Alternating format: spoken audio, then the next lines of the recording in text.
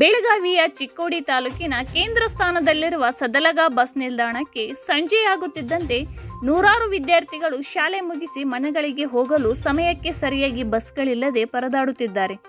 ಕೇಂದ್ರ ಸ್ಥಾನದಲ್ಲಿರುವ ಸದಲಗ ಪಟ್ಟಣಕ್ಕೆ ಅಂಕಲೆ, ರೂಪಿನಾಳ, ನನದಿ ಇನ್ನಿತರ ಗ್ರಾಮಗಳಿಂದ ಪ್ರತಿದಿನ ನೂರಾರು ವಿದ್ಯಾರ್ಥಿಗಳು ಬರುತ್ತಾರೆ.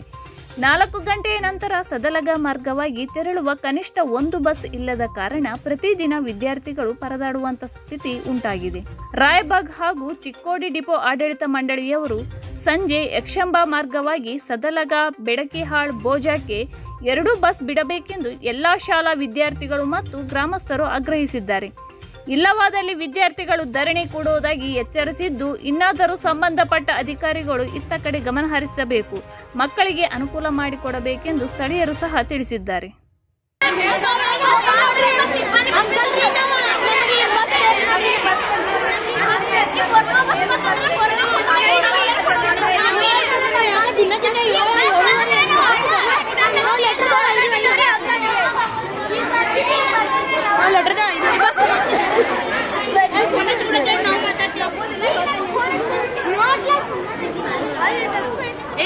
过来